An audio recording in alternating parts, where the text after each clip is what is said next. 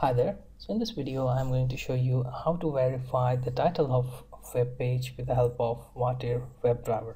So I have this google.com page open and I'm going to access this page and check this title and then I will pass whether the particular title is right or not and we will have if else condition for that okay so let's write in code.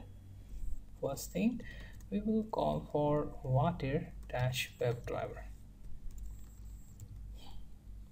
now after that we will create browser variable that calls for watir browser class and then create new instance of it. Just make sure it is properly typed.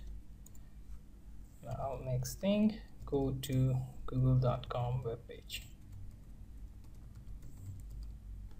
After that I'm going to have if condition for browser.title equals to Google.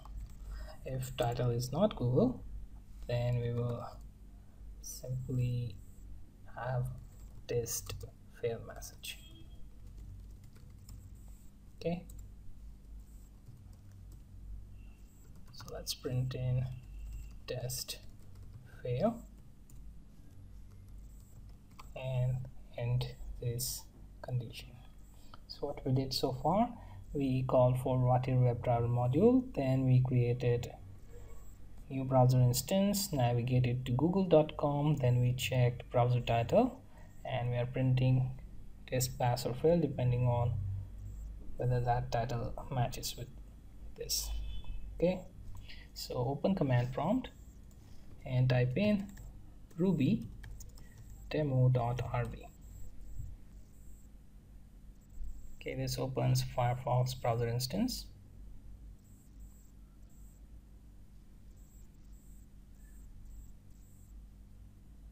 And let's check command prompt the test passed or failed. Okay so it says test pass. We'll change this to something else like let's say bing to make that test fail.